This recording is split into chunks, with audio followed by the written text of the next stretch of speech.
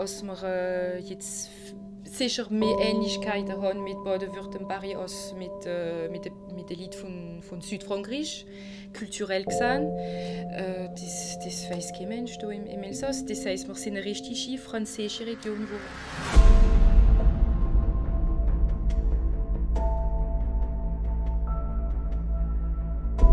Die kulturelle Grenze gibt es noch.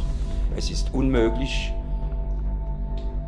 es ist unmöglich, diese Grenze zu sprengen.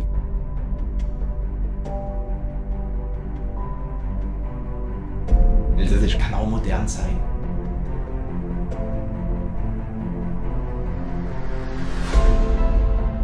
Warum wissen wir in Baden so wenig über unsere nächsten Nachbarn?